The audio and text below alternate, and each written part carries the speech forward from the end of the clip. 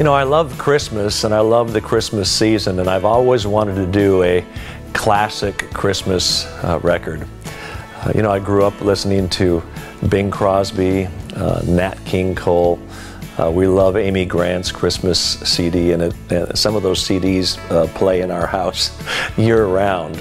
Uh, so when I launched my own label, Don Moen Records, I made an executive decision that we're going to do a Christmas project. And uh, when we finally got around to recording it, I didn't have to think too hard about uh, the song list because I've been working on it for 10 years. And so we went to Prague, uh, Czechoslovakia, the Czech Republic, and we recorded with a 59 piece orchestra in Prague. And that was a wonderful experience, uh, hearing that orchestra play and uh, bring these arrangements to life. Of course, David's orchestrations are brilliant. Is born today.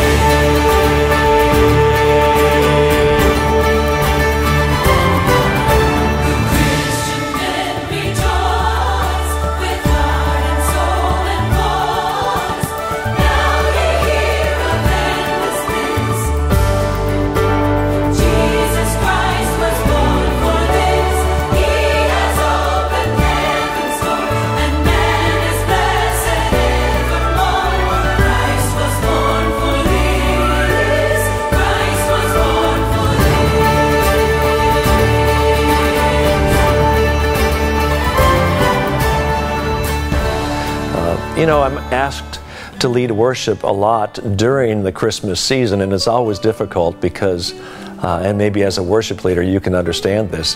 People like to sing Christmas carols, but they also want a time of worship.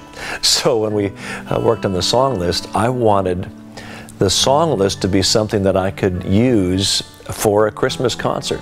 Uh, we did a medley of Christmas carols entitled Joy. Uh, people want to sing Joy to the World. They want to sing Silent Night. So uh, we put a medley together of those, of those carols. And then we wrote two original songs as well. Um, one called My Christmas Prayer.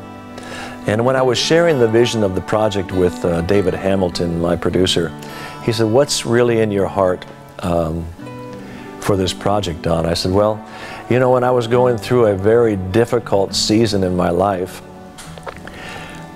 a funny thing happened. I kept singing a Christmas carol even in the middle of the summer. You know what I was singing? Be near me, Lord Jesus, I ask you to stay close by me forever and love me, I pray. Can you believe it? I was singing a Christmas carol away in a manger in the middle of July uh, because it's the prayer that I kept coming to Be near me, Lord Jesus. So I wrote a song called My Christmas Prayer. David and I wrote it together. And the chorus is Be near me, Lord Jesus, I ask you to stay. Um, so uh, uh it, it's just the cry of my heart is to be close to God uh, not only in the Christmas season, but all throughout the year. And we also wrote um, the title song um, called A Season of Hope. And that's what uh, Christmas should be. It should be the most hopeful time of the year. But sadly, for many, it is a season of hopelessness.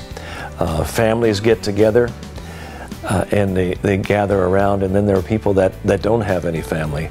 And, and this Christmas, I really want to uh, encourage you to truly make Christmas a season of hope uh, to someone who needs hope. And it doesn't have to be someone around the world. Uh, it could be your neighbor, it could be the person across the street. Uh, reach out to them. Be the hands and feet of Christ to them. That's what the song Season of Hope says. Uh, we can reach out. We can believe. We can all make a difference in someone's life. And I hope you enjoy this Christmas project. It's my favorite. I'm really uh, thankful that we did it and did it right. Uh, I hope you enjoy it, and I, I really want to encourage you to make a difference in someone's life this Christmas. It truly is a season of hope. God bless. And love can change.